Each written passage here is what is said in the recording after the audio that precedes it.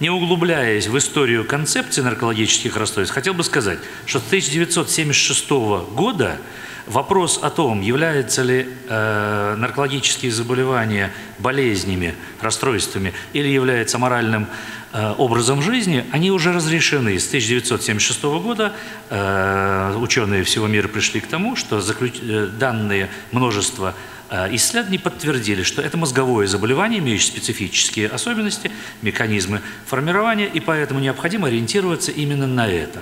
К большому сожалению, мы находимся на стадии до, до научной, и пока мы используем термины, которые в левой части слайда представлены, аморальность, слабоволие, низкая социальная ответственность, греховный образ жизни, и предлагаются те подходы, которые в мировой э, медицине давно уже отвергнуты и не используются за отсутствием научной базы. Самое парадоксальное может быть, нам в своих научных конференциях приходится дискутировать не только с коллегами, но и с представителями разных религиозных конфессий. А это, как вы понимаете, за гранью не просто научной э, медицины, а за гранью вообще всех медицинских подходов. Я не могу себе представить, чтобы окшер-гинекологи или терапевты или хирурги обсуждали свои методы терапии с э, представителями разных церквей. Министерство здравоохранения, несмотря на все вышеперечисленное э, устами министра, высказывает, что у нас есть специальная российская модель оказания наркологической помощи, и она признана передовой. Я должен сказать, что это не так. Э, это не соответствует действительности и точно совершенно не рекомендовано к внедрению в, во всех странах мира. Как раз наоборот, ВОЗовские стандарты приняты в подавляющем большинстве стран мира, в российской нет. Если кратко, в российской наркологии любое наркологическое заболевание приравнивается к шизофрении. И поэтому используются те же самые психофармакологические средства, которые используются для лечения шизофрении. Ну, например, нейролептики или антипсихотики. Э, чуть позже я приведу данные метаанализа, показывающие, что, конечно же, это тупиковый путь и не соответствующий реальности. А как у нас лечат в реальности? У нас 80% наших наркологических больных выбирают кодирование. Такого термина не существует, как вы понимаете, в мировой науке. И у нас вообще кодирология и наркология э, имеет знак равенства, что очень печально, потому что кодирование – это мошенничество. А у нас э, многие государственные акты исходят из этого слова. Иногда закавычивают, иногда прямо пишут, что это кодирование. Никакой научной основы под э, кодированием не существует. И вот исследование ведущего российского психиатра, психофармаколога э, Евгения Михайловича Крупицкого, который проанализировал э, все исследования по поводу кодирования, нет, и вывод, нет ни одного корректного научного исследования, подтверждающего эффективность, безопасность э, или неэффективность и небезопасность данного подхода. Несмотря на это, этот метод под другим названием входит в клинические протоколы, входит в стандарты терапии, и наши врачи продолжают использовать то, что э, не является научно обоснованным.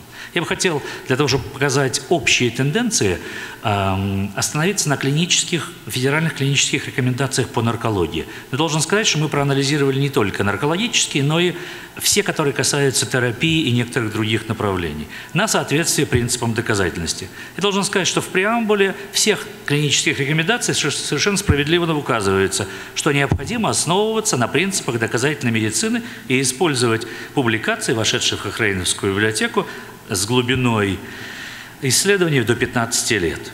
Необходим консенсус экспертов, которые будут оценивать данную эффективность. И вот только после этого необходимо принимать или можно принимать эти федеральные рекомендации как э, данность. А что мы видим в реальности? Я не знаю, как в других специальностях, как мне кажется, это уникальная ситуация, связанная с наркологией. А эксперты были назначены исключительно из одного учебного, э, научного учреждения – отказ от проведения научных дискуссий, связанных с оценкой как раз убедительности используемых доказательств, и отсутствие консенсуса между внешними и внутренними экспертами. Под давлением э, общественности, профессионального сообщества пришлось включить в список независимых экспертов специалистов, которые не вошли в, раз, э, в качестве разработчиков. Подавляющее большинство из независимых экспертов высказалось категорически против, основываясь на том, что федеральные клинические рекомендации не базируются на принципах доказательной медицины. Однако в текст федеральных рекомендаций пошла следующая фраза, что все эти рекомендации были показаны независимым экспертам и повторно прокомментированы, и, и все замечания были учтены, что не соответствует, конечно же, э, реальности. Э, очень интересным является посмотреть, а каким образом выставлялись эти уровни доказательности A, B, C, ну, тут D и E не выставлялись, естественно, потому что в реальности это не так. И, например, э, современные метаанализы показывают, что включение тех препаратов, которые сегодня вошли в клинические рекомендации, противопоказано для включения в схему терапии наркологических расстройств. Вот одно из, одно из важных или больших исследований, которое проводилось на основании полутора тысяч, э, анализа полутора тысяч, тысяч кейсов. И возник вопрос, а эксперты российские, эксперты международные – а смотрят одни и те же базы данных кохрейновские, вспомним преамбулу к федеральным клиническим рекомендациям. Почему у них выводы принципиально различные? Почему одни говорят о том, что здесь уровень доказательности высокий, A, B, а другие считают, что вообще нельзя включать, потому что не только эффективность, но и опасность для, для использования э, в терапии. То есть возник некий, некий, некая проблема, некий парадокс, который необходимо решать. Еще одно мы обратили внимание на то, что в клинической рекомендации включены препараты, в формулярах которым отсутствуют показания к терапии. С нашей точки зрения, это юридическое нарушение всех юридических норм. То есть, конечно же, мы не имеем права использовать подобные подходы. И еще очень важным дискуссия по поводу того, включать ли в клинические рекомендации ссылки на использованную литературу. Во всех, э, по всем дисциплинам медицинским в Российской Федерации в клинических рекомендациях отсутствует список литературы. Что с нашей точки делает их, делает их непрозрачными? Потому что нам непонятно, на основании чего выставляется уровень убедительности. В наркологии это особенно э, ярко проявилось, и я думаю, что нам необходимо анализировать, а как в других клинических дисциплинах все это проходит. Мы проанализировали международные руководства, то есть аналоги наших клинических рекомендаций, и убедились, что во всех этих рекомендациях существует огромный список литературы, и каждая буква A, B, C уровень убедительности подтверждается ссылками на литературу. То есть каждый э, внешний эксперт может проверить, соответствует вывод экспертов, которые разрабатывали клинические рекомендации реальности, или не соответствует. И мы, хотели, и мы сравнили э, наркологию российскую с психиатрией. Даже не мы, это было исследование специально московского НИИ психиатрии. И оказалось, что в, психиатр, в психиатрии это все более-менее э, хорошо. То есть стандарты, принятые и клинические рекомендации, принятые в российской психиатрии, соответствуют мировым. Ну, они, правда, там написали, что даже по некоторым по позициям лучше, ну, опустим это как бы э, эмоциональную оценку, но э, российского больного шизофренией, так же, как с другими психическими расстройствами, лечат так же, как во всем мире. А наркологические больного лечат принципиально по-другому. И, как вы видите, еще в борьбе с обсуждением с людьми, которые к специалистам не имеют никакого отношения. И как бы подытоживая, я могу сказать, что действительно мы можем назвать российскую наркологию феноменом, который уникальный феномен, отличающийся от всего, что происходит в мире. И выводы позволить не зачитать, потому что мы, мы обсудили их. Я думаю, что вот этот наш э, любимый слайд, который скачан из интернета, я не знал автора, и поэтому не смог ссылочку сюда сделать, как я прошу, в клинических рекомендациях были ссылки. И поэтому благодарю вас за внимание. Большое спасибо. Большое спасибо, что вошли в регламент. Для нас важно сегодня. Коллеги, э, вопросы, если у нас останется время, может быть, у нас тут один доклад не состоится из Москвы, да? Наверное, у нас будет какое-то время или, или, или есть, выясним. Тогда мы вопросы зададим в конце. Следующий доклад Елена Владимировна Вербицкая, Санкт-Петербург. Доклад «Метаанализ проблемы включения российских публикаций». Здравствуйте. Я, конечно, не, счит, не могу считать себя экспертом в метаанализе, но а, хотела бы посмотреть несколько, некоторые вопросы. Ну, еще, Значит, я хочу, ну, о том, что такой метаанализ, мы практически все знаем, но, значит, э, хочу рассказать про метаанализы в русскоязычной литературе и о проблемах. Причем двух проблемах, не о всех, а о двух. Это первое, трудно найти российские статьи, и с чем это связано, и качество публикаций. Ну, конфликта интересов нет. Что такое метаанализ, все знают, что это очень мощный инструмент для выявления доказанных медицинских технологий. И использует он статистические подходы. При этом как бы увеличивается мощность и доказательность можно оценить э, более широких аспектов. Но когда мы встречаем, э, начинаем касаться русскоязычной литературы, тут возникает вопрос, а насколько часто мы встречаем русские публикации в метаанализе? И тут возникает, вот я задала себе такую, такую задачу и попробовала по, полу, по слову метаанализ посмотреть научные электронные русскоязычные э, библиотеки и лайбрери, Э, я проанализировала 150 статей на русском языке, не говорю, что это очень много, но это самое. И вот давайте посмотрим. Значит, э, соответственно, оценивала только список литературы, ссылки, да, вот там есть э, возможность оценить ссылки.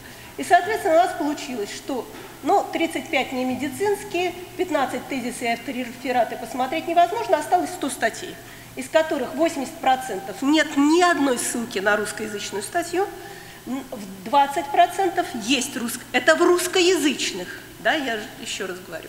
Значит, 20% есть русскоязычные статьи, однако среди них основная часть – это методологические или какие-то регуляторные ссылки, но не больше. На клинические исследования не ссылаются. А, что же мешает включению российских медицинских публикаций в метаанализ? Ну, один, одна из возможных причин – это то, что не только в русские, да, русских-то мы можем найти, но вот как бы если говорить о метаанализах зарубежных, потому что единичные российские биомедицинские журналы включены в международные базы данных. А, ну, в Google Academy больше, но там и как бы русские, а, они на русском языке включены. А, есть еще одна важная причина, которая говорит о том, что люди, когда составляют метаанализы, чаще всего пользуются специальными системами поиска и системами работы с, со списками публикаций, так называемые citation менеджерами.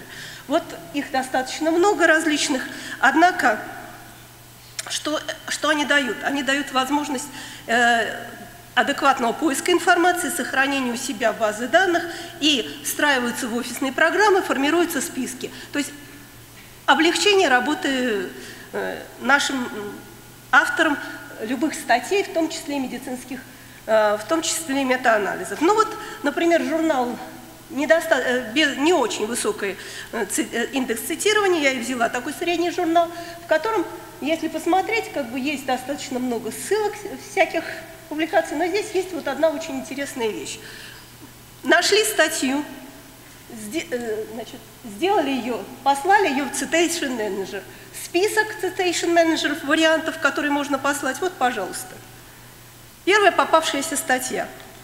А, российские журналы не имеют такой функции. Я ни одного журнала не нашла, который бы имел такую функцию. Более того, российские журналы не прописывают у публикации в интернете определенные дескрипторы, по которым можно что-то найти.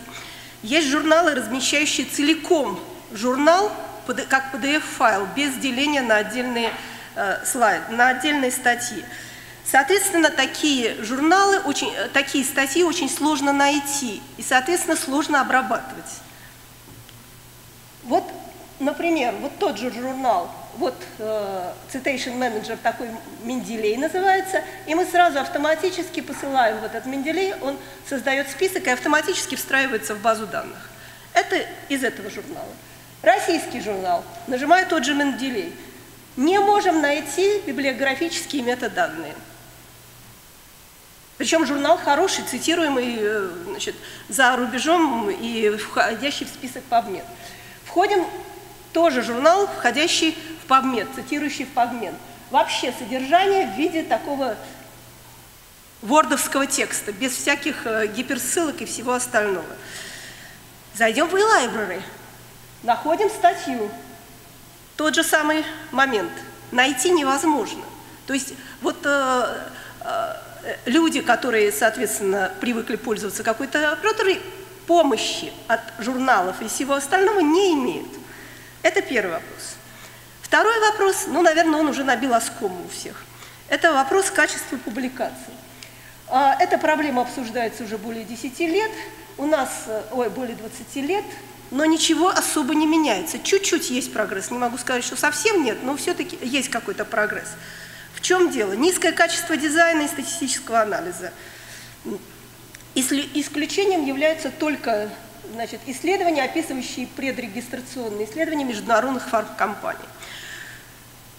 Какие проблемы появляются? Ну, у нас есть опубликованные статьи, они уже опубликованы там гораздо раньше, сейчас все то же самое. Отсутствие адекватного контроля, нестандартизированные конечные точки, а это очень важно, потому что нельзя в метаанализ смешивать кучу различных э, конечных точек. Э, нестандартизированные длительности терапии, отсутствие рандомизации ослепления – и очень интересная, очень низкая мощность. На самом деле статистики очень часто, планируя любое клиническое исследование российских фармфарм, фармфирм, э, сталкиваются с такой проблемой. А посчитайте нам размер выборки, но мы можем, но мы можем только 200 человек набрать. Сделайте так, чтобы обосновать 200 человек. Ну, насколько это доказательно и насколько это работает на нашу науку, это уже другой вопрос. Но нет стандартов статистического анализа. У нас нигде не прописаны требования журналов к статистическому анализу. Нет э, статистического рецензирования. По нашим проведенным исследованиям, э, несколько лет назад мы проводили, 80% публикаций имеют ошибки в статистическом анализе.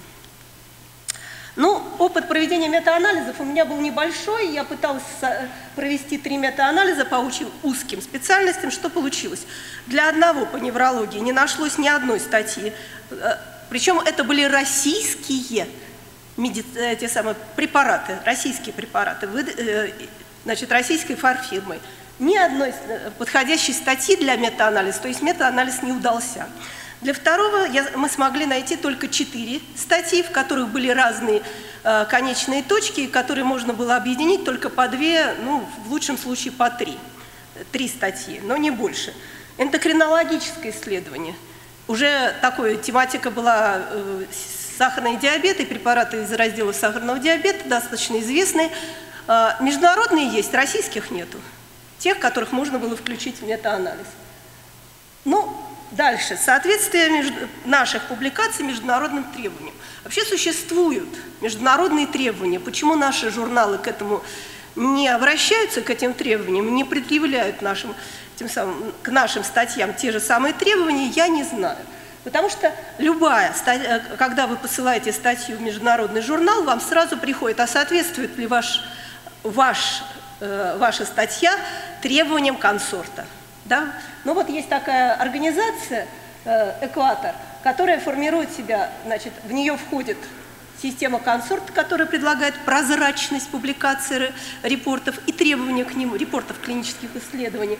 И для каждой, для систематических исследований, для всего остального, вот различные, и там прописываются требования. Ну, например, вот консорт, если мы говорим о клинических исследованиях, есть такая простая вещь, как чек-лист – которые можно просто-напросто проставить галочками, все вы ли описали то, что требуется по. У меня, мы проводим обучение доказательной медицине на нашей кафедре, кафедре клинической меди...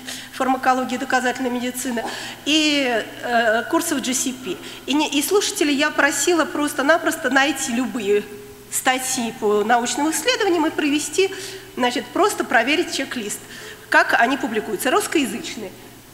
В большинстве отсутствие рандомизации, в большинстве отсутствие ослепления, в части отсутствует полностью описание статистических методов, отсутствует описание расчета размера выборки. Соответственно, в некоторых статьях, которые, как раз вот я хотела сказать метаанализ включения, была очень хорошая статья, вроде бы хорошее исследование, но, там, но при публикации там не было даже стандартных отклонений у цифрок. Соответственно, что мне бы хотелось сказать. Может быть, э, как бы все, что вы уже слышали, оно есть, э, есть в этих заключениях. Может, все-таки надо как-то обратиться к нашим журналам, чтобы они ввели лицензирование и более соответствовали международным требованиям. Может быть, они лучше бы включались в эту систему с э, метаданными, которые можно... Ну и, соответственно, российские онлайн, онлайнной презентации своих результатов своих статей в, э, в интернете. По-моему, это достаточно актуально. Спасибо за внимание. Коллеги, вопросы тогда будем задавать да, в конце нашей сессии, секции. У нас третий, большое спасибо, Леонид. Третий доклад «Клинические руководства и протоколы в Киргизской республике. Современное состояние проблемы». Докладчик Аида Ашериевна Зурдинова.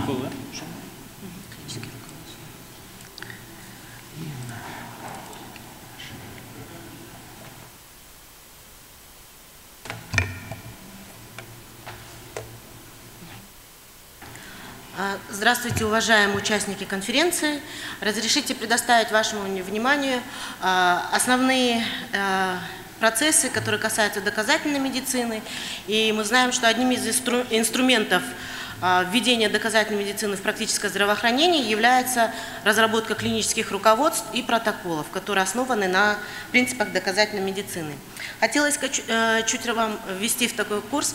У нас в Кыргызской республике после приобретения суверенитета было проведено три э, реформы здравоохранения – в разные периоды. И, соответственно, а, первая реформа здравоохранения, которая стартовала в 1996 году, а, привела к тому, что у нас были разработаны 141 клинический протокол, по основным э, нозологиям, часто встречающимся, но, к сожалению, в них не было указания уровней доказательности, ссылки на источники и так далее. А, последующие программы а, с 2006 года непосредственно а, касались развития доказательной медицины.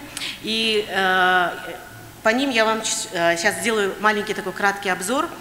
Все реформы здравоохранения, проводимые в нашей стране, идут такой широко э, э, секторальный подход при поддержке огромного количества донорских организаций, так как ну, наша страна не имеет достаточных экономических ресурсов проводить э, реформы на собственные средства. А, в рамках проведения второй программы, которая стартовала в 2006 году, у нас были приняты основные документы, которые регламентируют а, внедрение доказательной медицины в практическое здравоохранение. Первое – это была утверждена стратегия развития доказательной медицины. В рамках данной стратегии были утверждены такие документы, как а, разработка методология по разработке и адаптации клинических руководств, основанных на доказательной медицине. А, в рамках данной методологии было принято решение а, консенсусом а, наших специалистов, что мы принимаем уровень доказательности, предложенный САЙН, 4 уровня A, B, C, D. Кроме этого, также был принят документ об экспертной оценке разработанных руководств специалистами, оценка как методологического качества, так и клинического содержания. Ну и кроме этого, Разработан был сайт центральноазиатский, а, он представлен. Данным сайтом пользуются страны Средней Азии и Казахстана. Основные а, пути реализации методологии, так как у нас протоколы пошли вперед руководств, было принято решение такой переломный момент, и руководство, и протоколы, они будут параллельно разрабатываться. В дальнейшем э, перейти на разработку клинических руководств, которые будут подкрепляться клиническими протоколами. Учитывая уровни организации здравоохранения, они у нас в республике так делятся первичный, вторичный и третичный уровень. Основные шаги, а, как и в Сайне, то есть они а, здесь все представлены, начиная от формирования мультидисциплинарной группы и заканчивая обновлением а, клинических руководств. Разработанные клинические руководства за период с 2009 по 2015 год. Чисто клинические руководства были разработаны в количестве 26 клинические протоколы 91 и, соответственно, методологии, чтобы и клиническое руководство, которые подкреплялись клиническими протоколами, их количество всего 13. А, За период э, в графике видно, а, что все-таки минимальное количество, это занимает вот руководство с протоколами, их количество очень минимальное пока. А, В основном у нас превалируют клинические протоколы. Но здесь хотелось бы сказать, по оформлению не всегда у нас а, видна разница. И клиническое руководство, и протокол оформляют, к сожалению, многие разработчики почти одинаково. А, Структура утвержденных клинических руководств у нас превалирует ну, вот, э, кардиология, по кардиологии, по акушерству гинекологии, гепатиты. Ну, в рамках реализации наших национальных программ были выделены приоритетные направления. Это сердечно-сосудистые заболевания, это здоровье матери и ребенка, а, туберкулез и ВИЧ. По данным направлениям, в принципе, ведутся разные работы, но впереди всех идет кардиология. Она разрабатывает клинические руководства, подкрепленные клиническими протоколами. Но, к сожалению, из-за отсутствия достаточного процесса внедрения, структура заболеваемости и смертности у нас в республике остается без изменений. Даже имеется э, незначительный рост к 2014 году.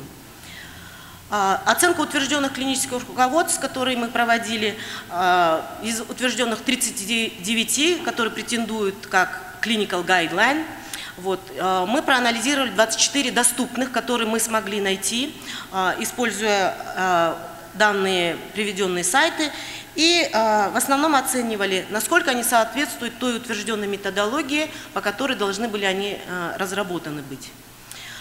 Основные пункты, которые мы анализировали, э, выделены жирным шрифтом. Э, Согласно содержанию, э, результаты получили следующие.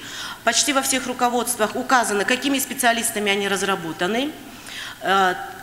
При этом 43,9% руководств были проведены с участием пациентов, то есть были учтены их интересы. В 100% декларация конфликта интересов было указано, но при этом а, все писали, что отсутствует какой-либо а, конфликт интересов. Но при этом хотелось бы отметить, что 89% руководств были а, разработаны при финансовой поддержке тех или иных донорских организаций. А, Основным пунктом является, до того, как руководство пойдет на утверждение, необходимо ра- разработать его, апробировать разработанное руководство. При этом а, 40 только 41,6% руководств были апробированы. Уровни доказательности, к сожалению, в наших руководствах утвержденных во всех разные, что в свою очередь э, дает такие затруднения для врачей. В одних идет 4 уровня, в других 3 э, и так далее. Э, и здесь приведены, что в основном по методологии только около 54% клинических руководств составлены согласно методологии. Указана стратегия поиска в 73% руководств, но при этом критерии включения и исключения только в 42,3%, ну и оценка найденных доказательств только в 15,3% руководств была указана. Не указаны данные по оценке методологического качества. Во всех руководствах этих э, данных мы не нашли. Клинические руководства подкреплены соответствующими клиническими протоколами в зависимости от уровня оказания помощи в 31% случаев. И данные по фармакоэкономической оценке во всех руководствах они отсутствуют. К сожалению, у нас в Кыргызстане данное направление еще э, не развито. А, Данные по внедрению, так как всем известно, а, разработка разработкой, самое главное внедрить то, что мы разработали. Но, к сожалению, процесс внедрения у нас тоже имеет свои минусы. А, Для того, чтобы выяснить, насколько руководство внедряется, мы проинтервьюировали 20 руководителей организаций здравоохранения и провели анкетирование и а, фокус-групповые дискуссии а, 200 врачей, в котором участвовали. Результаты интервьюированные руководители показывают, что обучение непосредственно по разработанным руководственным протоколам прошли всего 5% руководителей. А, Наличие у каждого а, врача клинических руководств протоколов только 5% ответили, что да, имеют, остальное количество сказали недостаточном количестве. А, При этом внутренний аудит по утвержденным руководственным протоколом проводят во всех организациях, так как у нас есть такая э, служба, как ФОМС, которая штрафует, если врачи будут вне данных протоколов назначать какие-либо вмешательства. Не всегда учитываются местные особенности, указали 95% руководителей. Следует клиническим руководственным протоколам 100%. И не по всем нозологиям есть клинические руководства протоколы, также отметили 100% руководителей. Результаты интервьюирования, а, анкетирования врачей показывают, что также обучение прошли по данным руководствам только 5%, придерживаются клинических руководств 100% и указывают, что штрафует ФОМС, но при этом с оговоркой, что они вне истории болезни или амбулаторной карточки могут любое лечение назначить. А, не всегда а, клинические руководства подходят для их практики, ответили около 93% врачей. Облегчают работу, здесь разделились, 50 сказали, что облегчают, 50 сказали, что усложняют, лишние записи и так далее. Не понимают и не знают принципы доказательной медицины 95%. А, указание уровней Э, доказательности ни о чем не говорит им, э, как в интервью они сказали, и э, не знают разницу между руководством и протоколом, почти все 100% опрошенных. Обучение должны проводить именно разработчики клинических руководств и протоколов, указали 100% врачей. И 95% врачей указали, что информацию о каких-то новых лекарственных препаратов они получают не с клинических руководств э, и протоколов, а именно от фармкомпаний. А, выводы а, мы получили следующие, они представлены. А, не все пока идеально, но, как говорится, лед тронулся, и мы надеемся, что в будущем мы постараемся сделать это согласно международным стандартам. У нас в Кыргызстане, учитывая то, что специалистов, которые имеют, умеют работать с систематическими обзорами, читать их результаты, метаанализы, РКИ и так далее, очень мало, поэтому было принято решение адаптировать международные руководства к нашим местным условиям. Но даже по адаптированию не всегда все идеально получается.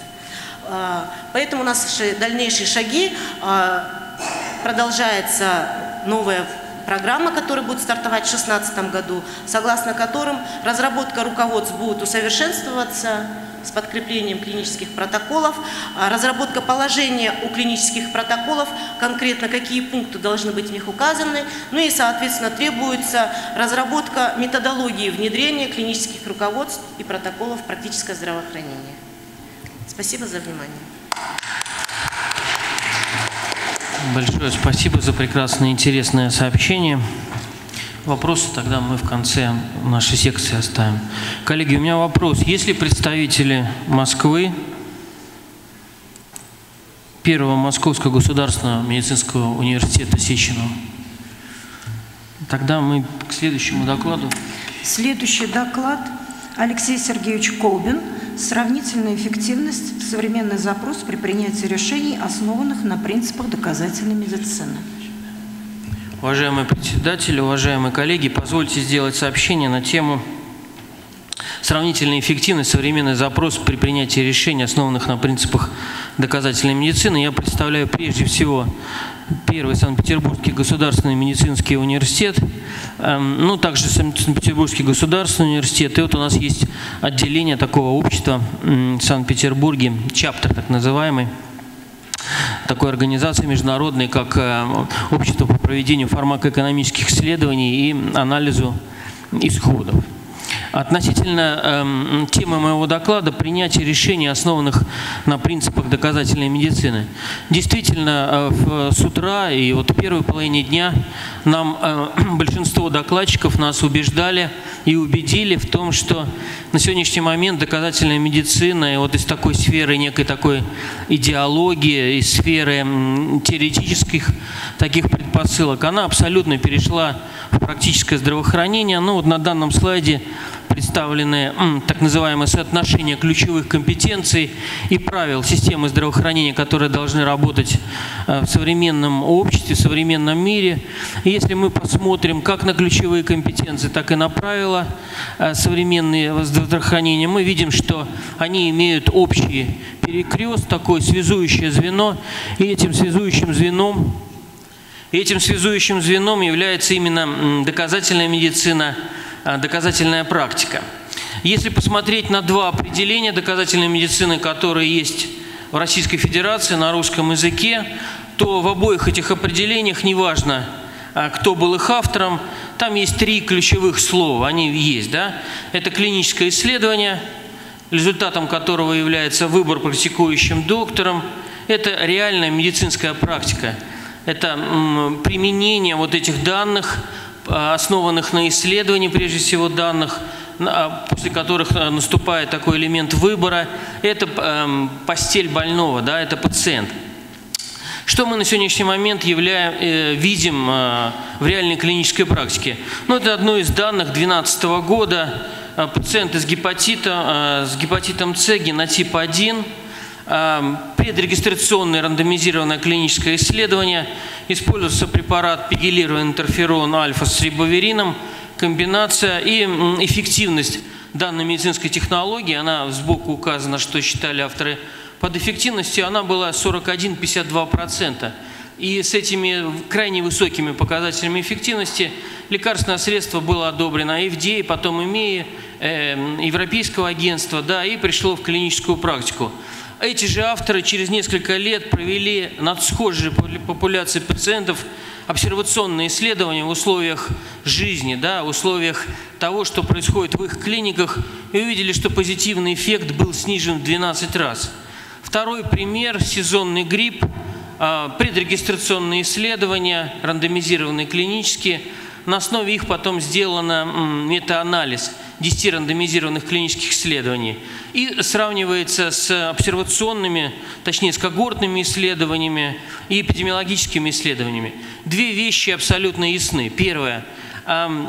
Совершенно разные критерии эффективности у регулятора, когда лекарственное средство регистрируется, и совершенно разные критерии эффективности у врачебного сообщества – Безусловно, доктор, он не будет сидеть, э, э, да, засекать время, часы, когда будут снижены симптомы, сколько пройдет часов. Безусловно, доктора волнуют такие важные точки исхода, да, это снижение смертности, которые не измерялись при регистрации лекарственных средств.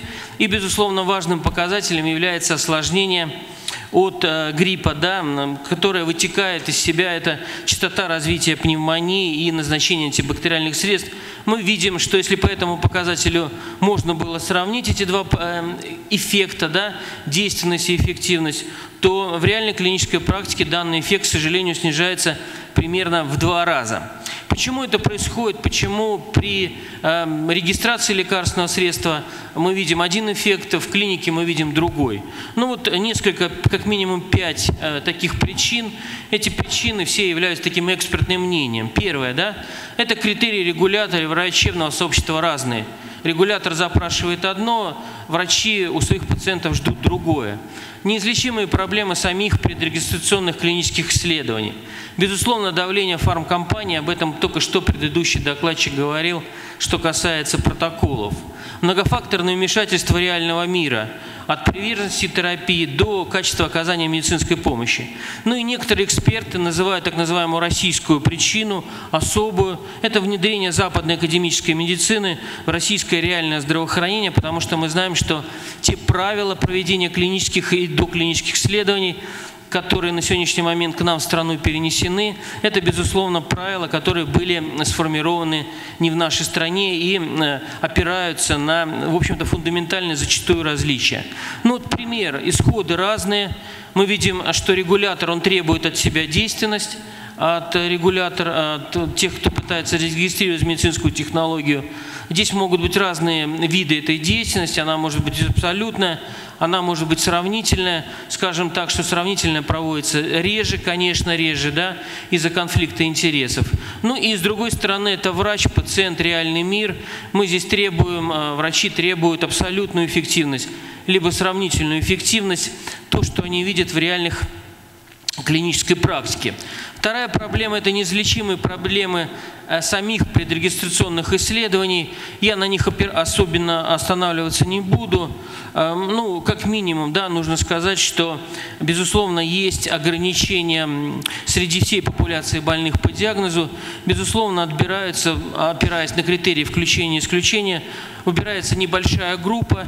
Здесь э, не совсем, может быть, э, этот рисунок отражает такое процентное долевое участие, например, целевой популяции. Но э, пример, тем не менее, нам будет понятен, что, безусловно, целевая популяция – это только небольшое количество всех тех пациентов, которые в реальном мире страдают от данного заболевания. Именно на этом небольшом количестве проходят клинические исследования, на этом небольшом количестве делаются выводы, регистрируются лекарственное средство, а потом оно приходит ко всем. И тут, конечно, встречаются пациенты с нарушением функций почек, печени, пожилые, беременные и так далее. Ну вот еще один пример. Гипогликемия – это оценка событий пациента в год. А, голубым цветом, да, синим цветом, это те предрегистрационные исследования клинические, которые были сахарный диабет первого и второго типа. Эти исследования здесь указаны. Их было достаточно, они были крупные, многоцентровые, международные. Мы видим, что при сахарном диабете первого типа гипогликемия была 5,8, при втором типе 1,5. Однако, когда эти же лекарства пришли в клиническую практику, обсервационные исследования увидели 10-разовое 10 увеличение данного явления гипогликемия, конечно, которое сказывается, безусловно, на прогноз течения и так далее, и так далее, всех проблем, связанных с сахарным диабетом первого-второго типа. Э, данные метаанализы, опубликованные как раз на том самом Э, сайте Кохрейн опубликованы были в 2012 году, которые показывают, что абсолютно фармацевтические компании давлеют на исследовательские группы, на университеты, когда они проводят предрегистрационные клинические исследования. Вмешательство реального мира. Ну, а я остановлюсь только лишь на том, что, безусловно, комплайнс, он абсолютно разный. При регистрационных исследованиях и в реальной клинической практике, безусловно, пациенты это все не соблюдают. Ну вот один из выводов, он нас в 2012 году в Москве была конференция по фармакометрии. Это один из руководителей FDA, это а, та организация, которая является, в общем-то, золотым стандартом, как регулятор в мире. Да? Они, к сожалению, делают такое заявление, это его заявление, прямая речь, да, ну вот вы, я его зачитывать не буду. Единственное, что он, по-моему, сказал слово не у себя дома, а у себя на кухне. А в связи с этим, безусловно, современный запрос – это сравнительная эффективность. А что под этим поднимается? Это одно из определений девятого года. Это исследование напрямую сравнивающее выгоду и вред от медицинских технологий, а, используемых для лечения заболеваний, профилактики, диагностики в условиях реального мира, то есть то, что происходит в клиниках. Ну, этот слайд, если посмотреть более внимательно – то мы видим, что, эм, безусловно, есть различия как в определениях различных эффектов. А, да, вот эффикаси называется та самая действенность.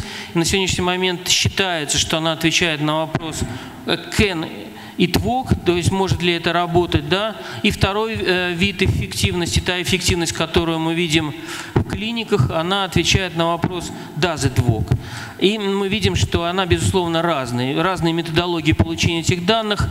И также мы видим, что доказательная медицина раньше она базировалась вот в области, наверное, в области предрегистрационных исследований, потому что легко было, достаточно и остается легко э, проводить анализ рандомизированных клинических исследований. Но на сегодняшний момент, безусловно, происходит сдвиг э, в область доказательной медицины. Она начинает сдвигаться да, в область э, вот этого вопроса does it work, да, effectiveness. Ну и э, один из докладчиков в издании, по-моему, он говорил об оценке медицинских технологий. Безусловно, доказательная медицина постепенно идет и, конечно, и туда, и так называемый reimbursement. На сегодняшний момент два вида э, клинических исследований э, себя опробировали, себя доказали как эффективны для выявления вот этой сравнительной эффективности. Первый вид – это прагматические клинические исследования, второй – это обсервационные клинические исследования. Тезисно, что такое прагматические клинические исследования? Это рандомизированное проспективное исследование, однако рандомизацию проводит врач и проводит среди пациентов, имеющих характерные сопутствующие заболевания, получаемые сравнительные варианты лечения, также учитываются демографические группы и сравниваются, э, как правило, с теми практиками, которые реально есть э, в этом стационаре, в этом лечебном учреждении. Обсервационные исследования нам хорошо известны, они могут быть перспективны, ретроспективны, я на них останавливаться не буду. Безусловно, вопрос, который каждый из нас здесь может задать, э, может быть, мы обойдемся без этих сравнительных исследований, потому что, безусловно, мы понимаем, они крайне сложны, крайне дороги, да, они, это дорогое такое удовольствие проводить сравнительные исследования. Эм, три проблемы, да, можно ли их переносить из страны в страну, провели в США, перенесли к нам, да, эм, возможно ли проводить только, например, предрегистрационные исследования, придумать какую-то цифру, умножил на 5 и называем это эффективностью. Ну и третий вид, это так называемые трансляционные исследования, могут ли они нам помочь.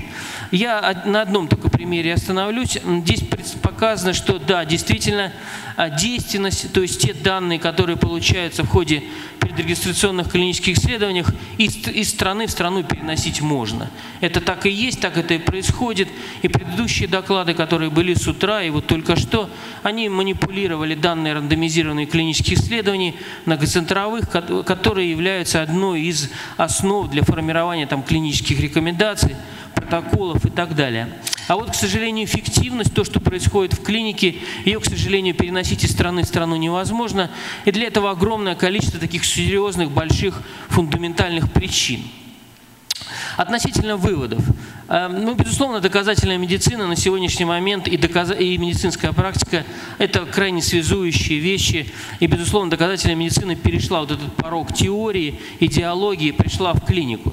Безусловно, действенность – это тот эффект, который получается при регистрации продукта. Мы должны понимать, что есть другой вид эффекта, его называют так и называют эффективность. То, что мы видим у своих пациентов в своих стационарах, поликлиниках и так далее. Безусловно, разные критерии э, для регулятора и для врачебного сообщества.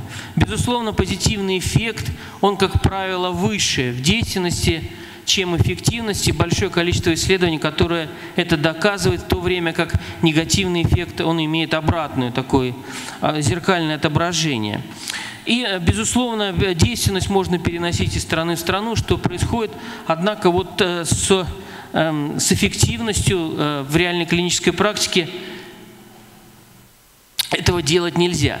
Какие рекомендации? Э, необходимы прагматически рандомизированные или обсервационные исследования в натуральных условиях, однако важно, чтобы для их проведения была единая методология э, методологии их проведения. И необходимо сказать, что у наших соседей в Европе на сегодняшний момент уже 9 таких методических руководств, как проводить правильно прагматические либо обсервационные исследования, чтобы выявлять эффективность.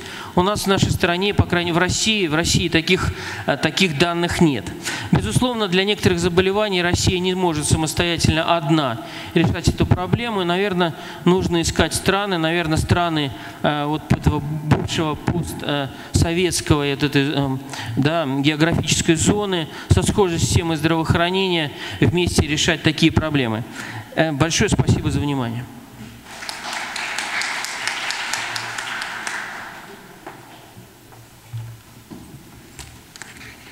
Уважаемые коллеги, у нас э, следующий доклад. У нас два докладчика. Доклад будет делать Тамара Ильдусовна Садыкова. А, тема доклада об информационном спаме в оценке качества постдипломного образования врачей. Казань. Спасибо. Глубоко уважаемый председатель, глубоко уважаемые участники конференции, э, мы сегодня выслушали много интересных докладов, и в том числе касающихся имеющихся проблем здравоохранения. Но в любом случае все можем отметить, что в нашей стране предпринимаются большие усилия, направленные на совершенствование управления качеством и эффективностью медицинской помощи.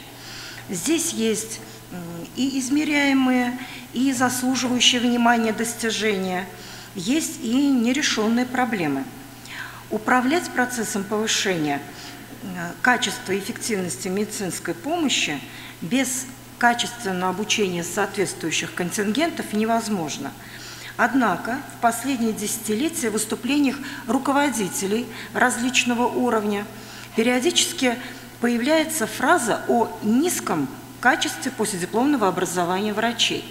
Первоисточник ее не назван, но эта информация продолжает переходить из уст в уста как обязательный компонент речей о проблемах здравоохранения.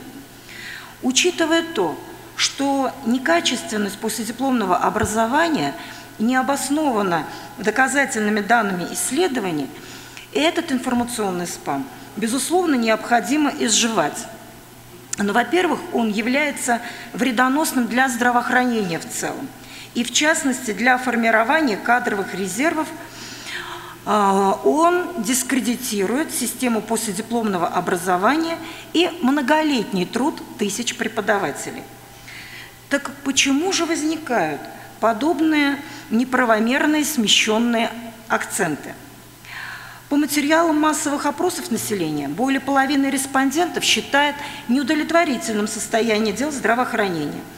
Отмечается также снижение уровня престижа профессии врача. Диапазон отрицательных высказываний колеблется в пределах от плохо до катастрофически. Система здравоохранения и ее руководители подвергаются массивным негативным информационным атакам. И хотелось бы обратить внимание научного сообщества, управленцев на то, что причины рождения таких оценок многосложны, комплексны и не всегда связаны с неудовлетворительными результатами деятельности системы здравоохранения и образовательных организаций. Дело в том, что в стране, как и в мире, идет процесс постарения населения с соответствующими его последствиями для общества и системы охраны здоровья. На этом фоне происходит рост общей медицинской культуры населения, что существенно повышает, повышает значимость здоровья, цену человеческой жизни в целом и соответствующие потребности населения. Растет информированность людей о возможностях современной медицины, лекарственных, инструментальных технологиях лечения и профилактики заболеваний. И, наконец, система здравоохранения разворачивает свою деятельность в диапазоне противостояния жизни и смерти, в котором по законам природы конечную победу торжествует смерть. В таких обстоятельствах трудно ожидать одни благодарности в адрес медицинских работников. Перечень можно было бы продолжить. По всей вероятности, в наши дни отмечены факторы, усиленные отраслевыми управленческими недостатками и сопровождаемые низким уровнем финансирования, дают своеобразный кумулятивный эффект который выражается в размерах недовольства граждан деятельностью системы охраны здоровья населения, перекладывание этого недовольства на систему медицинского образования. Парадоксальная ситуация заключается и в том, что негативные оценки общественного мнения деятельности здравоохранения растут на фоне серьезных позитивных изменений в состоянии здоровья населения страны и очевидных успехов модернизации отрасли. Сегодня актуален вопрос о том, кто и как измеряет качество образования. Какие индикаторы могут явиться информативными? Как правило, при оценке качества в любой области предпочтение отдается мнению потребителя. Нашими потребителями непосредственными являются руководители здравоохранения, я имею в виду ту кафедру, которую я руковожу, кафедра общественного здоровья, экономики и управления здравоохранением Казанской государственной медицинской академии. И на базе кафедры, а, после прохождения циклов повышения квалификации, мы а, опрашиваем а, каждого обучившегося, они заполняют анкеты, в которые отмечают уровень качества педагогической деятельности преподавателей. Анализ этих материалов показывает, что обучившиеся дают высокую оценку качества педагогического процесса, а органы управления здравоохранением субъектов Российской Федерации, направившие этих руководителей, тоже бывают удовлетворены работой кафедр а, и направляют благодарственные письма в адрес образовательной организации. То есть потребители довольны. Но этого недостаточно. Необходимо создание добротной концептуальной основы, общей методологии оценки качества медицинского образования и, в частности, последипломного образования руководителей здравоохранения. И нужно научиться измерять его количественно. Без этого любые формы оценок качества будут носить преимущественно субъективный характер. А непременным условием количественного измерения качества – является рациональный подбор индикаторов качества и установление для каждого индикатора его весовой значимости. Нам видится, что эта ответственная работа должна выполняться профессионалами с высоким уровнем компетентности. Конечно же, с привлечением руководителей практического здравоохранения, имеющих известный творческий потенциал. При несоблюдении отмеченных условий экспертизы конечные ее результаты окажутся как минимум дискуссионными – что касается последипломного образования руководителей здравоохранения, то его качество желательно оценить на следующих уровнях, которые хотелось бы вам озвучить.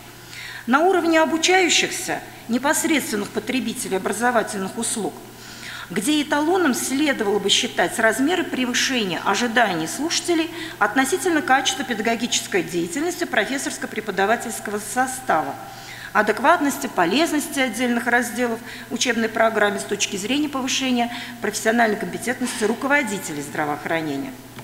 На уровне основной кафедры, где осуществляется повышение квалификации, э, данная кафедра обеспечивает максимально возможную вовлеченность педагогического и учебно-вспомогательного персонала в повышении качества учебного процесса – и для реализации этих задач крайне необходимо использование соответствующих постулатов системного и процессного подходов к менеджменту качества. На уровне учебного заведения Здесь к оценке качества педагогической деятельности желательно э, подключать производственные характеристики всех структурных подразделений, имеющих отношение к обеспечению учебного процесса. Это управление, библиотека, организация питания, транспорт, общежитие и так далее. Следующее – это уровень территориальных органов и практического здравоохранения, откуда были направлены на учебу руководители здравоохранения. И основными критериями для оценки качества педагогической деятельности на этом уровне могут быть использованы э, уровни динамика наиболее существенных показателей здоровья населения и эффективности функционирования медицинских организаций – по соответствующим показателям. На основании указанных фактических материалов возможно определение веса системы дополнительного образования а, руководителей здравоохранения в решении общих проблем охраны здоровья населения на конкретных территориях. Без подобного рода расчетов разговоры о повышении или снижении качества подготовки врачей в системе дополнительного профессионального образования теряют системность и всегда будут базироваться только на отдельных легкодоступных критериях, лежащих на поверхности. Хотелось бы специально подчеркнуть, что оценка качества педагогической деятельности кафедр и вузов системы последипломного образования медицинских работников более сложна, чем кажется с первого взгляда.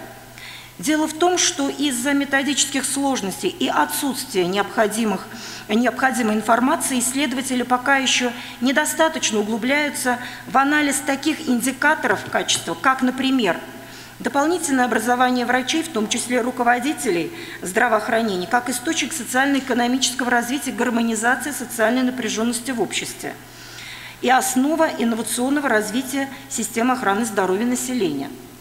Роль данной проблемы в позитивном изменении социально-профессионального статуса, а также социально-экономического положения медицинских работников.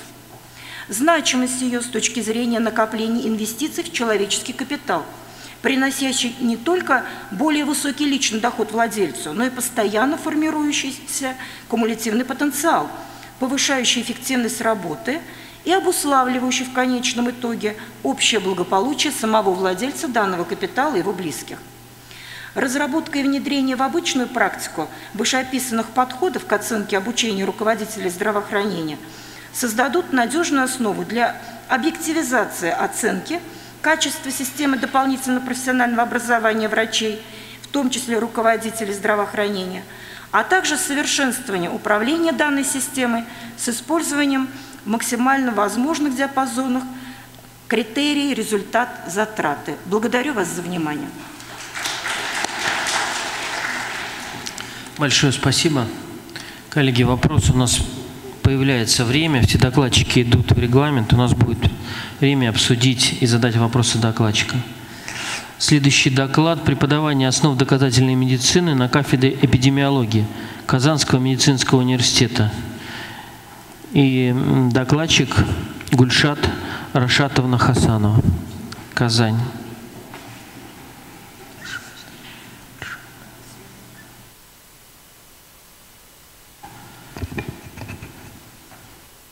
А, глубоко уважаемые коллеги, разрешите поделиться небольшим нашим пока еще опытом а, по преподаванию доказательной медицины на кафедре эпидемиологии Казанского медицинского университета. Значит, структура и содержание современной эпидемиологии, а, особенно в нашей стране, существенно отличается от той эпидемиологии, которую мы наблюдали в 20 веке. Есть несколько десятилетий назад эпидемиология ассоциировалась только с инфекционными заболеваниями воспринималась как дисциплина, которая занимается ликвидацией вспышек, организацией каких-то профилактических, противоэпидемических мероприятий, касающихся только инфекционных заболеваний. В настоящее время очень бурно развиваются такие э, полноправные как бы, компоненты этой дисциплины, как эпидемиология неинфекционных болезней и э, также другой, новый раздел клинической эпидемиологии «Основы доказательной медицины». И в настоящее время эпидемиология рассматривается как диагностическая дисциплина общественного здравоохранения, и на основании эпидемиологических а, результатов эпидемиологических исследований принимаются э, управленческие решения в сфере общественного здоровья, направленные на сохранение здоровья населения. Это касается не столько инфекционных заболеваний даже, сколько неинфекционных заболеваний. И, а, безусловно, роль эпидемиологических исследований даже в такой сфере, как исследование профессиональных заболеваний, а, травм а, на производстве, травм на транспорте и заболеваний, связанных с загрязнением окружающей среды. Совсем новым разделом эпидемиологии является клиническая эпидемиология. А, клиническая эпидемиология, которая включает, а, появилась в конце 20 века в связи с тем, что стало проводиться большое количество клинических исследований и а, появилась необходимость выработки какого-то кодекса да, для проведения этих исследований. И в настоящее время клиническая эпидемиология представляет собой а, раздел современной эпидемиологии, который включает в себя методологию получения в эпидемиологических исследованиях научно обоснованной доказательной информации о закономерностях клинических проявлений болезни, методах диагностики, лечения и профилактики для принятия оптимального клинического решения в отношении конкретного пациента.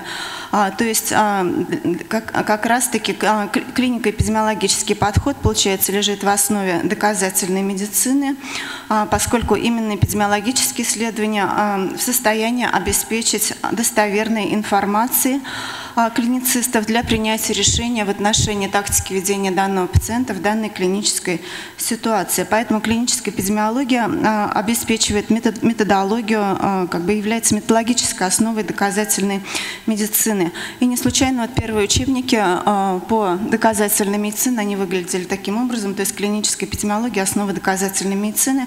По сути, это вещи, которые мы не можем как бы друг от друга отделить. И на сегодняшний день в связи с тем, что времена изменились. Мы имеем являемся свидетелями изменения парадигмы преподавания а, эпидемиологии и задачи как бы э, при преподавании эпидемиологии перед нами ставится задача позволить студентам освоить теоретические основы клинической эпидемиологии и принципы применения результатов эпидемиологических исследований для принятия эпидемиологически обоснованных решений по диагностике, лечению, прогнозу и по профилактике заболеваний, основанных на принципах доказательной медицины. И вот даже могу сказать, что в этом году наша кафедра в связи э, вот с, с велением времени э, была переименована в кафедру эпидемиологии доказательной медицины. Э, на кафедре э, мы э, преподаем даем а, на разных ступенях высшего образования. У нас есть и студенты, есть и последипломное образование, но сегодня за, не, за недостатком времени я остановлюсь только, скажу несколько слов о том, как мы преподаем доказательную медицину студентам. А, значит, у нас занимаются все факультеты, преподаем мы эпидемиологию всем факультетам, кроме фармацевтического факультета. Но а, значит, для лечебный факультет, лечебный, а, педиатрический, стоматологический у нас представлены весьма скромно по количеству часов, и поэтому мы не можем как бы там развернуться так, как нам бы хотелось с преподаванием клинической эпидемиологии. И даем мы крайне такой ограниченный, а, а, крайне огранич... А, читаем мы фактически три лекции по доказательной медицине и рассматриваем основы доказательной медицины на одном занятии. Более интересно нам заниматься с медико-профилактическим факультетом, поскольку им выделено, им, им выделено аж 15 кредитов на, на освоение эпидемиологии. Из них мы можем выделить довольно существенную часть на преподавание именно клинической эпидемиологии и доказательной медицины медицины, которые включают и аудиторную работу, и самостоятельную работу студентов. И кроме этого, для медико-профилактического факультета у нас а, предусмотрен также курс по выбору, который называется также «Доказательная медицина». И ну, как бы это хорошо, потому что это необходимо для медико-профилактического факультета. Также, да, несомненно, что знания по доказательной медицине необходимы врачам, клиницистам, но медик, э, выпускника, выпускники медико-профилактического факультета также в этих знаниях, навыках нуждаются, потому что а, спектр направления профессиональной деятельности в области эпидемиологии, он серьезно изменился, и на сегодняшний день выпускники наши работают в самых разных учреждениях, а, которые занимаются медицинской деятельностью, деятельностью, лечебной деятельностью и профилактической деятельностью. И, соответственно, выпускники должны обладать всеми компетенциями, которые необходимы для работы в этих учреждениях. И более того, они должны быть готовы не только к проведению рутинных эпидемиологических, но и к проведению а, научных исследований. А, здесь вот представлена вот выдержка фактически из рабочей программы, последняя, которая разработана по ВГУС-3. А, выделен здесь блок, который касается клинической эпидемиологии и доказательной медицины. У нас есть два модуля. Первый модуль касается видов исследования, и второй модуль а, касается оценки эффективности безопасности диагностических скрининговых тестов и работы с базами данными и с поиском доказательной информации. Вот на медико-профилактическом факультете а, эти занятия проводятся на пятом курсе в осеннем семестре. Мы читаем пять лекций и проводим шесть занятий а, по 36 э, часов и, а, значит, а занятия проводятся как в рамках аудиторной работы, так и в рамках самостоятельной работы. Самостоятельная работа студентов строится на решении обсуждения ситуационных задач. А, создан у нас также курс дистанционного обучения на платформе Moodle, на образовательном портале медуниверситета. Даются также задания по работе с базами данных, связанные с поиском статей по заданной теме для составления систематического обзора. И часть студентов представляет представляет также доклады а, по результатам своей проведенной работы на студенческую а, конференцию.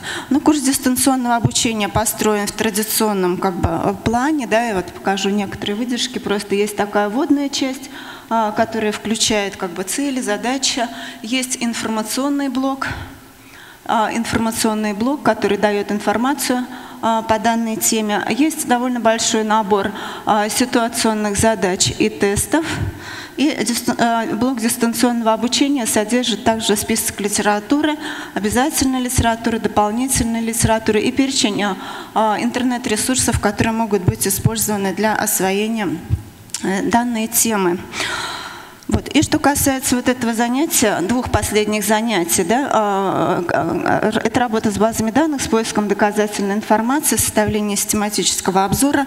А, в чем они заключаются? Это два занятия. На первом задании преподаватель а, значит, она, дается студенту следующее задание. Во-первых, необходимо сформулировать или выбрать из предложенного списка научный вопрос и вместе с преподавателем анализируется этот вопрос по формуле ПИКОС, там общеизвестная формула. А, далее определяются совместно с преподавателем критерии включения исследования в этот систематический обзор. Следующее задание дается студентам а, э, в базе данных Medline найти исследования, отвечающие критериям включения, которые были разработаны совместно совместно с преподавателем, изучить характеристики каждого включенного исследования и оценить его методологическое качество. И на следующий день, после того, как студенты поработают э, как бы по этому заданию, э, опять же, э, вместе под руководством преподавателя вместе, на занятии совместно обсуждаются вот эти обсуждаются статьи, которые они нашли, и студенты объясняют, почему они взяли эти статьи, почему эти не взяли и так далее. Здесь вот представлено, например, примеры научных вопросов, которые могут быть предложены для составления студентами, ну, для попытки составления систематического обзора. А, учебниками мы в основном пользуемся Брико. Вот а, первый медуниверситет так серьезно занимается как бы продвиганием вот этого направления, да, доказательной медицины, есть хорошие учебники под руков... и э, руководство для преподавателей э, под э, редакцией Николая Ивановича Брико. И довольно большой, большой набор как бы электронных ресурсов предлагает наша библиотека Казанского медицинского университета. Так, и кроме этого, а, кроме этого у нас на, на кафедре проводится факультатив по доказательной медицине, который проводится раз в две недели а, с четырех до в течение двух с половиной часов. Он проводится для студентов всех факультетов. А, каждое занятие факультатива оно подразделено на две половинки. В первой части обсуждаются результаты самостоятельной работы, опять же по работе с базами данных, составлению систематических обзоров. И вторая половина посвящена просто освоению каких-то классических методов описательной и аналитической эпидемиологии. В качестве примера работы студентов, вот я покажу буквально несколько слайдов. Эта работа была вообще представлена на стенд, как в качестве стендового доклада на данной конференции. Вот студенты в прошлом году э, сделали у нас такой систематический обзор на студенты, занимающиеся на факультативе, э, который назывался «Эффективный скрининг рака толстой кишки», э, тест на скрытую кровь. Анализировались большое количество статей, Использовались разные базы данных, были разработаны критерии отбора, и, значит, было проанализировано... Значит, было проанализировано студентами большое количество статей. В конечном итоге проведен метаанализ 19 статей. И, и получили такие, такие серьезные э, результаты, да, э, красивые достаточно результаты, которые даже были представлены в Москве на Олимпиаде по эпидемиологии. Вот, и получили вот такие выводы. Да? Например, в этом обзоре студенты, что наибольшая валидность продемонстрирована при использовании иммунохимического теста для скрининга рака толстой кишки. То есть студенты вполне в состоянии, как бы если их научить, они в состоянии сделать даже систематический обзор. Вот. И э, в заключение мне хотелось бы сказать, во-первых, о проблемах, которые ну, которые стали нам видны да, в течение вот где-то полутора лет преподавания, а, полутора лет преподавания доказательной медицины. Во-первых, у нас ограничен доступ к интернету. Нам хотелось бы иметь интернет-класс, чтобы каждый, а, где каждый компьютер был бы подключен к интернету, чтобы мы прямо в аудитории могли с студентами выходить в базы данных и выбирать оттуда нужную нам информацию. Вторая проблема – это языковая проблема. А, очень небольшое количество исследований имеется, результатов оригинальных исследований опубликовано, которые отвечают требованиям доказательной медицины, соответственно, которые отвечают критериям отбора имеется небольшое количество статей на русском языке и параллельно имеется небольшое количество студентов, которые, имеют, э, которые владеют английским языком. Недостаточно на сегодняшний день методическая обеспеченность дисциплины, но мы над этим работаем а, недостаточное количество часов на преподавание эпидемиологии на лечебном и педиатрическом факультетах. А, и а, основная, может быть, одна из важных проблем – это консерватизм многих врачей, неприятие доказательной медицины. То есть многие врачи, с которыми студенты общаются тоже да, в процессе своего обучения, которые оказывают влияние на формирование их мировоззрения. Они говорят, мы без вашей доказательной медицины жили, там работали 30 лет и дальше до пенсии доработаем. Да? Вот. И, а, значит, э, что еще мне бы хотелось сказать, что, что нам стало понятно, что студенты, контингент а, наиболее такой благодарный, наиболее легко обучаемый вопросам доказательной медицины. Нам казалось, что будет трудно обучать студентов, мне приходилось учить аспирантов. Вот я могу сказать, что студенты учатся с гораздо большим удовольствием и значительно легче все понимают и воспринимают, чем более старшее поколение, даже, даже если сравнивать с аспирантами. Значит, обращаю, обратила еще внимание о обилии инструментов преподавания очень много различных возможностей методически, что делает эти занятия не скучными для студентов и для преподавателей, позволяет разнообразить как бы процесс а, преподавания. У нас сложилось впечатление, что наиболее эффективной и интересной является самостоятельная работа. Вот то, что студенты выполняют самостоятельно, они лучше запоминают, это им интереснее значительно. И еще я считаю, что мы считаем, что преподавание основ доказательной медицины в доступной, конечно же, форме должно начинаться раньше, не на пятом, не на шестом курсе, а должно начинаться тогда, когда студенты начинают преподавать пропедевтические дисциплины, потому что, во-первых, чем моложе человек, тем лучше он воспринимает эту информацию, практика показывает. А во-вторых, а, все обучение, э, как мне кажется, в медицинском университете, оно должно строиться на канонах доказательной медицины, то есть это должно, ну, как бы даваться как религия какая-то, да, вот как а, а, методология, потому что это необходимо для формирования, вот, уж извиняюсь за клише, да, для формирования научного мировоззрения, для формирования способности студента мыслить, критически оценивать получаемую им информацию. То есть студент с самого начала обучения в университете должен знать, что а, медицина может быть только доказательной, что недоказательная медицина не может быть, что это не медицина, а знахарство. Благодарю вас за внимание. Большое спасибо. Э, все здесь в зале, кто находится, все с вами согласны, наверное. Безусловно, так, наверное, на третьем курсе надо, да. Коллеги, у нас заключительный доклад э, повышение качества поиска данных – с позиции доказательной медицины докладчик Михаил Валерьевич Камалов, Санкт-Петербург.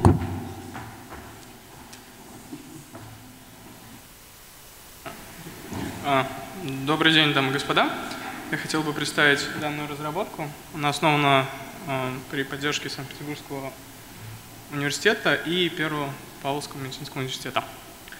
А, для начала я хотел бы представить список глоссарий такой keywords – которое необходимо мне будет дальше при представлении данной работы. Ну, такой мэппинг терминов медицинских на использованные в данном проекте. Ну, вот. А, собственно, изначально наш, наша цель ставилась разработка поисковой системы, основанной, позволяющей ранжировать медицинские исследования по уровню доказательности. Я так думаю, что эту часть можно пропустить. А, постановка задачи. А, на данный момент, на самом деле, существует достаточно много поисковых систем, ну, стандартно как PubMed, Rain, но данные поисковые системы есть один маленький недостаток, в частности, поиск осуществляется непосредственно по keywords и частоте встречания в тексте. Там не используются даже такие стандартные метрики, как TF-IDF. Для этого нами было решено разработать собственную поисковую систему. В качестве ресурсов мы использовали базу данных Midline с 2006 года по 2013, это было 2 миллиона аннотаций. Собственно, дополнительно, ну, так как аннотации были представлены без каких-либо пометок, а для обучения а, нам необходимо было как-то разметить эти аннотации, мы использовали ресурс, э, ресурс Clinical Trials. Первой задачей мы ставили в первую очередь, это разметка наших аннотаций по подтипам медицинских вмешательств для дальнейшей классификации соотношения, является ли, содержит ли аннотация э, медицинского вмешательства, либо нет. Вот. Чтобы следующему этапу перейти к э, классификации по уровням доказательности. Непосредственно это таблица, которую мы использовали в качестве нашего ранжирования, то есть мы учимся сначала классифицировать аннотации по на содержащие и несодержащие медицинские вмешательства. Далее мы классифицируем их по уровням эм, доказательности на содержащую рандомизацию, несодержащую рандомизацию и какой тип ослепления они также содержат. А, ну, естественно, мы выявляем метаанализы, так как э, в данной таблице метаанализ является самый первый уровень доказательности. Собственно, это наши этапы разработки. Первый этап э, разработка веб-кроллера, который нам позволял разметить наши 2 миллиона аннотаций, основываясь на данных, которые проиндексированы в Clinical Trails. А второе, мы выбирали самый быстрый и качественный алгоритм классификации. И третье, это был выбор алгоритма иерархической классификации для задачи разметки и выявления по уровню доказательности абстрактов. Ну и последний элемент – это извлечение названий э, лекарственных препаратов из аннотаций. Собственно, после разметки наших данных 2 миллионов по clinical trials мы получили такую вот выборку по medical interventions и observational, ну, по, по типам медицинских вмешательств. Э, проблема заключалась в том, что не все аннотации, которыми мы обладали на тот момент, они были проиндексированы в clinical trials. И нам приходилось работать с вот этой выборкой, чтобы построить модель, обучиться и научить наших классификаторов. А, это коротко. Это линейные классификаторы, они работают очень быстро. Здесь приведена библиотека. Вот. Собственно, мы, мы их рассматривали. А, самый лучший результат у нас, э, то есть здесь мы приводим эфемеру, оценки классификаторов на, каждом, на выявление каждого класса при оценке F-меры нам дают самый лучший результат линейной СВМ. При э, ранжировании, то есть здесь у нас уже рассматривается, насколько качественно мы микро и макро рекол каждого классификатора при мультиклассификации. То есть мы рассматриваем, пытаемся разбить все классы по, по, по типам. То есть мы аннотацию к какому-то определенному по типу хотим соотнести. То есть мы делаем не бинарную классификацию, а мультиклассификацию. Вот. И опять здесь, получается, у нас выигрывает э, линейный СВМ. Э, это доказательства полученных результатов, то есть средняя точность по выборке 70%, F-мера, а, микро- и макрооценки у нас были проведены, ну и э, параметры, которые необходимы для настройки таких хороших результатов. Следующий вариант, который мы хотели улучшить качество классификации, это посчитать взаимную информацию, то есть насколько, какие слова хорошо описывают наши классы.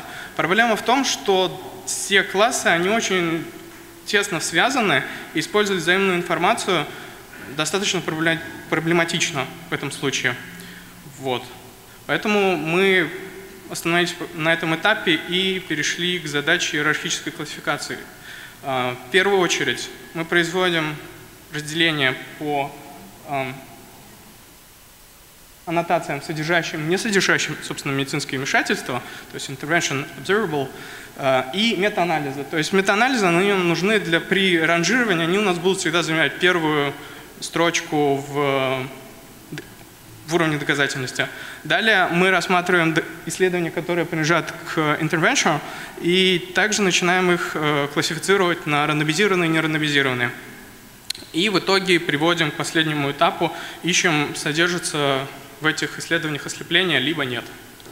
Вот. А это полученные результаты, собственно, оценки на каждом уровне.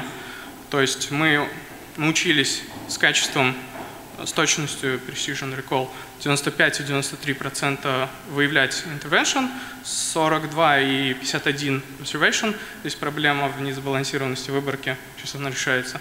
А, метаанализ у нас очень хорошо выявляется 95-93%, потому что в основном, если исследование содержит метаанализ, то как минимум в title и в абстракте обязательно будет об этом упоминаться. Это как очень хороший признак для выявления метаанализа. А, рандомизация и нерандомизационные исследования, они также дали нам хороший результат. Мы их научились извлекать с точностью 85 и 81%. И непосредственно single blind и виды ослепления а, получены такие в среднем хорошие результаты. А, иерархическая классификация по сравнению с мультиклассификацией в данном случае, она дает более лучший результат, так как мы можем сбалансировать наши выборки на рандомизированные и нерандомизированные и при этом получить хорошие оценки на каждом уровне. Дальше мы их объединяем, и в итоге у нас получается более точная классификация. А, следующим этапом у нас было извлечение фактов. То есть э, мы задачу ставили научиться извлекать название лекарства препарата из текста. Для этого мы строили грамматические деревья. Э, вот, собственно, на данном слайде пример, пример, а, приведем пример. То есть здесь препарат синий танк. И как можно по грамматике, какие признаки выбрать для того, чтобы добраться до этого препарата. А, собственно, результаты получены, использован был алгоритм КРФ и КРФ с модификацией. Самые лучшие результаты при тренинг-сете 1758 токенов э, был достигнут 60 и 70%. А, Также у нас были проведены сравнения существующих на данный момент поисковых систем, А, в частности PubMed, то есть э, плюсы и минусы этих поисковых систем. Плюсы PubMed заключаются в том, что э, ну, очень большой плюс, что она имеет полный доступ к медлайну. Это очень хорошо, очень замечательно, потому что мы работаем с абстрактами. А, Во-вторых, у них есть дополнительные возможности формирования там advanced queries, можно дополнительные запросы, стратегии запроса формировать. Вот. Но что на данный момент нет в подгнете, это как раз нет ранжирования исследований по доказательности и нет системы grade применения к исследованию. Это первое. Также есть э, поисковая система MIDI.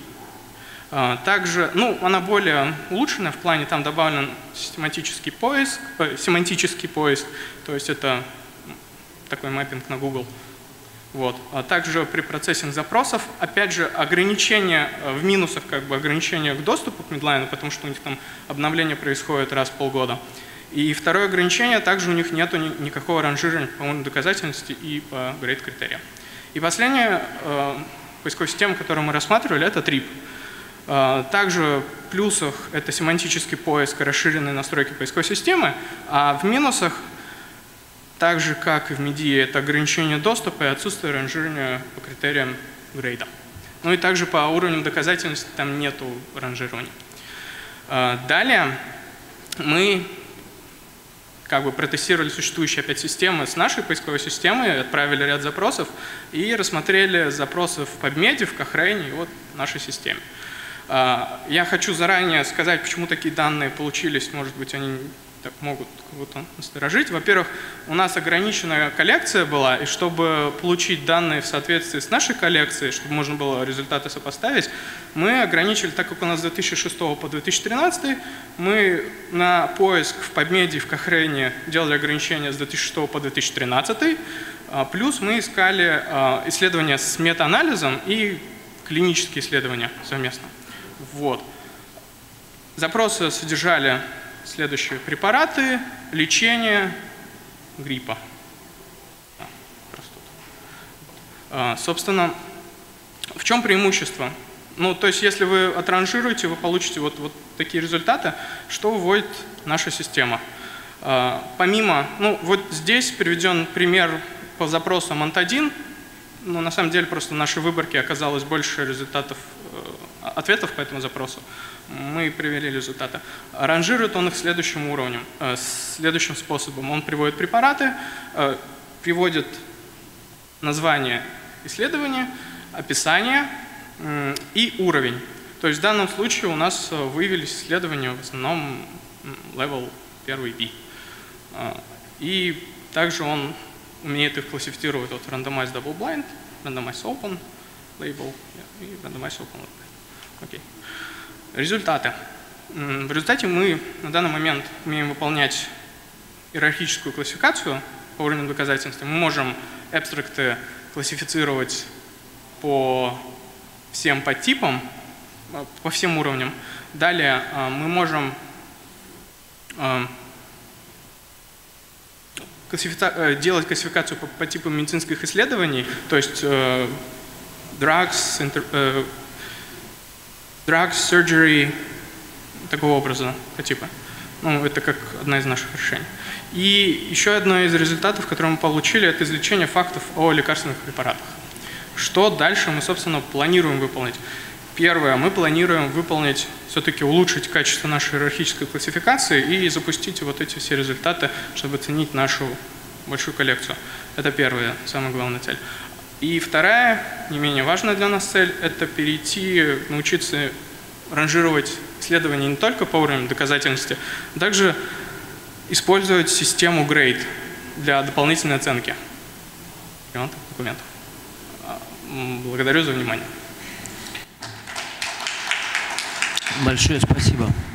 Коллеги, мы с вами э, вошли ровно э, то время, которое нам выделили организаторы, у нас с вами есть 5 минут, 10, может быть, даже, да, для вопросов.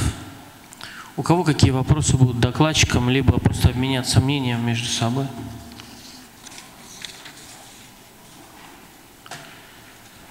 Можно у меня тогда будет пару вопросов докладчикам? Вот у меня вопрос э, к моему сопредседателю. Вам вопрос, да? Вот э, заказчик, э, он какой удельный вес заказчика вот в, в качестве подготовки на постдипломное образование? Вы там привели три, да? Да, вот э, заказчик, он не является главным арбитром, да, и либо он... Он соучастник оценки процесса, а, Алексея Сергеевича. Дело в том, что мы представили концептуальную модель, когда нужно оценивать в том числе а, качество образования с точки зрения а, тех руководителей, которые отправляют нижний уровень управления. То есть в каком качестве приходят к ним уже их подчиненные. А вот тогда второй вопрос. А вот те модные, да, сейчас по года три, наверное, да, уже идет, в том числе и в медицинскую сферу пришла, так называемая профессиональная компетенция вот это такая формализованные некие, да, такой величины, да, оценки, они, как вы считаете, они э, помогут нам улучшить качество постдипломного образования, когда такой жесткий формализованный подход, уметь, знать, ну и так далее? Спасибо. Дело в том, что э, в последипломном образовании, тем более руководители, здесь намного сложнее, потому что руководители – это заведующие, вот э, буквально несколько дней заведующие отделением тоже стали считаться руководителями, от заведующих отделений разных-разных профилей, плюс обучаются статистике до руководителей министров. Вот можете себе представить, чтобы расписать профессиональные компетенции всех и каждого. Причем эти руководители занимаются отдельными направлениями, в одном направлении отдельными разделами. И, безусловно, э, для того, э, для кого-то вопрос простой, почему мы говорим, кто-то э, имеет нарекание. Мы задали таким-то врачам простые два вопроса. Мы говорим о недоказательности. А для руководителей нет простых и сложных вопросов. Он будет простым для того руководителя, который работает вот в этой теме. И будет сложным для того, который очень хорош в другой теме все-таки руководители, они по профилям у нас. Ну, то есть крайне сложно для них будет разрабатывать да, да, да, да, для них это сложно, хотя формально есть. Да, спасибо большое. Вот, вот у меня еще вопрос, можно, да, я задам, да? да? У меня вопрос, э, нет, нет, не к вам, нет. а я задам э, просто, коль я забрал этот э, микрофон. У меня вопрос к нашему коллеге из Киргизстана к вам, да? А вот что понимается под э, апробацией протокола? Протокол, а, это понимается, так как а, мы же берем международное руководство и адаптируем, и насколько вот специалисты его приблизили к нашим условиям. Местная а, выбирается какой-либо лечебная организация, и там среди врачей проводят вот это обучение, дают им читать, и это самое называется апробация. То есть все рекомендации, которые даются, врачи оценивают, насколько... То есть экспертная она... такая оценка э, в каком-то лечебном учреждении, да, проводится? Да, обязательно. Если это по кардиологии, где-то есть где отделение кардиологические. Какое дельфийское какое-то такое исследование, да, с помощью Дельфи, да? Да, да, да. да. Угу. Спасибо. У меня все. Есть у вас вопросы? Да, если можно, у меня тоже к вам вопрос. Вы упомянули в своей а, презентации о том, что в достаточно большом количестве клинических руководств у вас участвуют а, пациенты. Вы могли бы пояснить форму участия пациента в разработке клинических руководств? Это когда они тоже рекомендации какие-то дают или создается какая-то комиссия, которая учитывает э, там, этические аспекты лечения? Но у нас, э, когда разрабатывалась методология, там учитывалось создание мультидисциплинарной группы. И в состав, кроме специалистов, консультантов, которые работают, а, включение пациентов, чтобы а, ушли мнение их, то бишь, а, когда собираются рабочие группы согласительные э, по разработке, пациенты данные присутствуют. Вот, например, по гепатитам больные, которые страдают, они участвовали и оспаривали вопросы, насколько те препараты противовирусные имеют место быть у нас в стране. И благодаря, вот, например, ассоциации пациентов, было трое пациентов из ассоциации больных с гепатитами, участвовали. Благодаря им нашу страну официально а, значит, желает дал разрешение, и у нас заводятся ингибиторы полимераз, софосбувир. на, э, по хорошей цене. То есть это вот плюсы участия. То есть с одной стороны это их а, ну, мнение учитывать, и с другой стороны, чтобы информировать пациентов, что в этой области по этому заболеванию идут какие-то работы, что ну, они лучше донесут для пользователей. Ну, очень важный вы аспект за- затронули. Сейчас э, есть же такая идеология, называется фармас- pharmaceutical care, да, фармацевтическая забота. Европа ее пытается продвинуть, когда пациент является не пассивным в принятии выбора лекарственного средства, а активным таким же игроком. Да, вот у нас по ВИЧ то же самое, то есть ЛЖВС, они активно участвуют в разработке и вот во внедрении. Но это вот только такие, а, а, к сожалению, в большинстве случаев они у нас не учитываются. Можно вам вопрос задать? А вот э, я просто не знаю. А вот, э, вот эта наркологическая помощь, она у нас оплачивается территориальными фондами обязательного медицинского страхования? Нет. То есть это, э, то есть они сами по себе. Может быть, в этом есть причина в том, что там используются различные медицинские технологии, без доказательной базы, без всего э, такие авторские, авторские такие. Сложно, сложно гадать, думаю, много есть факторов, которые влияют на то, что эта дисциплина оказывается самой отсталой. К большому сожалению, мне не очень ловко критиковать мой собственный цех, А, но там такое количество факторов. Я думаю, что еще и общественное давление, и представление о том, что э, это не болезнь, а необходимо э, какими-то волевыми усилиями справиться, и общество к этому также относится. То есть трудно вычленить.